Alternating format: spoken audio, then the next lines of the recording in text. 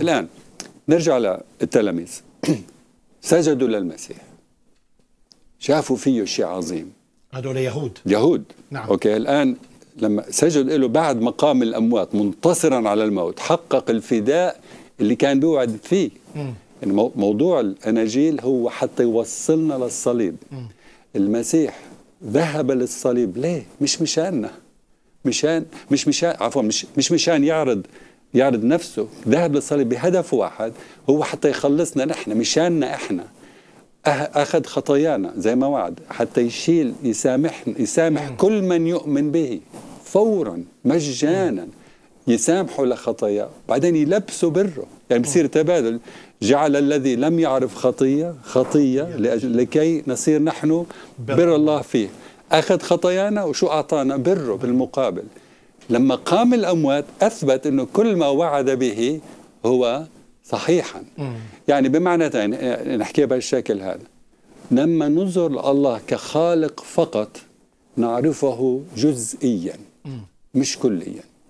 لما ننظر للمسيح كفادي نعرف الله كليا بالكامل. يعني بالمسيح يسوع اكتملت الصورة. اللي كان التلاميذ والعهد القديم يسأل عن هذا الإله الواحد. كان في تساؤلات كتير كان في حيرة. ليه كيف في رحمة وفي عدل؟ كيف في ملاك يهوه شو معنات ملاك الرب؟ كيف ليش الأنبياء مقصرين كثير مرات؟ الم- الملوك في العهد القديم مقصرين الكهنة مقصرين.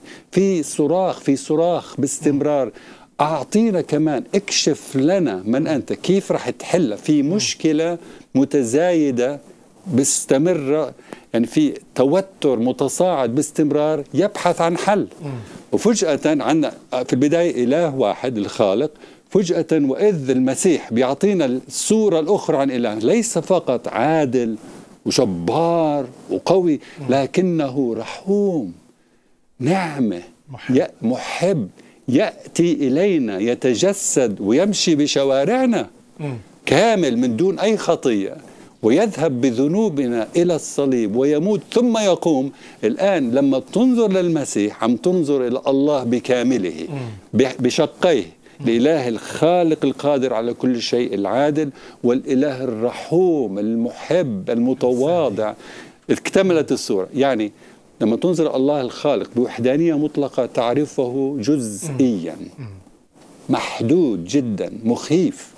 أما تنظر بالناحية بالمسيح تعرف الله بكامله. هذا هو الثالوث